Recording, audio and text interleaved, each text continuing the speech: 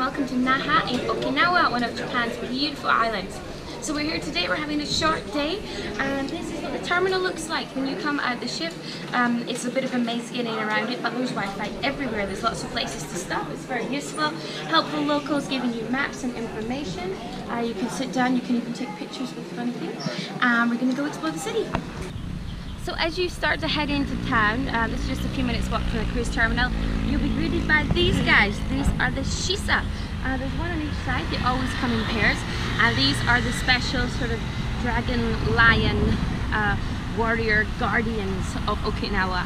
Uh, they've been around for centuries and they protect the city, they protect the island, they protect the people. And you'll find them all over the city. They're on top of houses, at doorways, and businesses.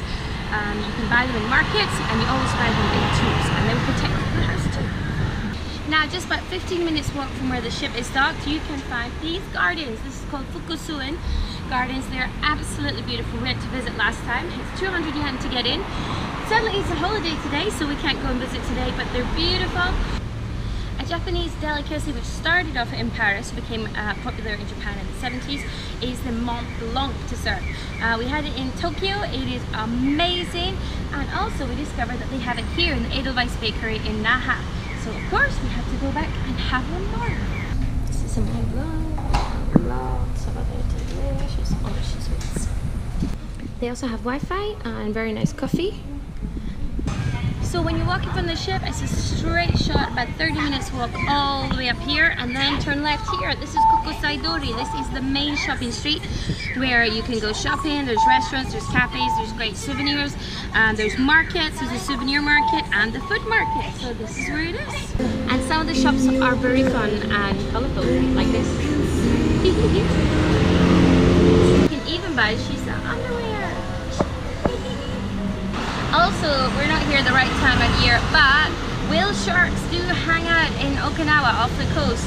Um, so there are, if you're here at the right time of year, you can go out and swim with them, you can go snorkel with them, visit them.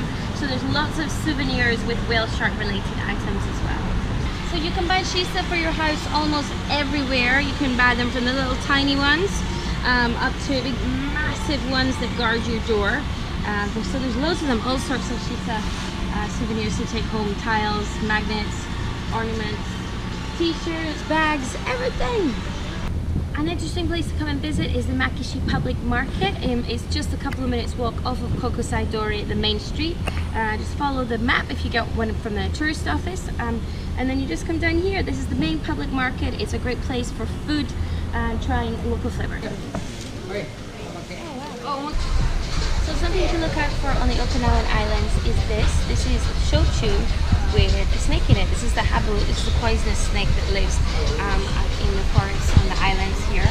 And what they do to create the liquor, the first already made, and then the snakes are frozen and then brought out of the freezer and popped inside the shochu. And as they wake up, they basically realize they're in a jar full of liquid. And they start taking in and they drown, looking very surprised this and their venom gets released into it and it said that if you drink uh, this alcohol just little by little then you, it will help you become immune to the poison of the snake bite. So when you're in the market, if you would like to try something to eat, come upstairs. There's uh, stairs at um, both ends and in the middle. That brings you up here. There's loads of local restaurants.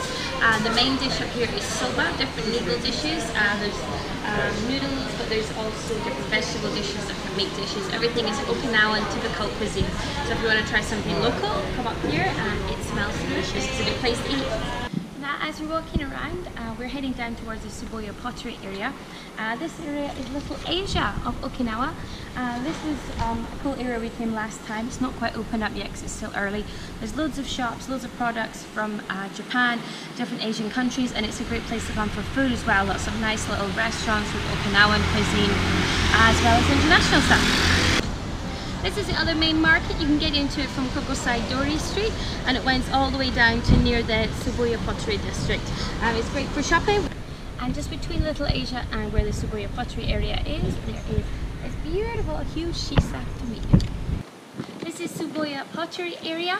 So when you come in here, the whole street, there's a massive street. This is all filled with beautiful shops uh, run by local artisans. Um, some of them famous in the area throughout Japan and throughout the world. So all the way down here, there's loads and loads of little pottery shops. Everything is handmade, hand painted. You can see the, the artists that work in a lot of places actually making the pots or painting them. Uh, really, really beautiful craftsmanship. Uh, we got some lovely cups last time. Uh, we definitely recommend it. If you like beautiful things for your house, then come here and get yourself some original Okinawan pottery. Um, right at the start of the street is this shop here. This is where um, we bought some cups before. Um, one of the main designs they have here is the Okinawa fish design. Um, and so this place has lots of them. It's very beautiful and it's slightly less expensive than the other ones as well. So animal cafes are very popular all over in Japan and in Okinawa we found one a bit exciting. This one has an owl, which we've seen before, um, hedgehogs, which we've seen before, but apparently there's also otters and capybaras. How you in about 10 bucks and you can go and meet and hug these animals.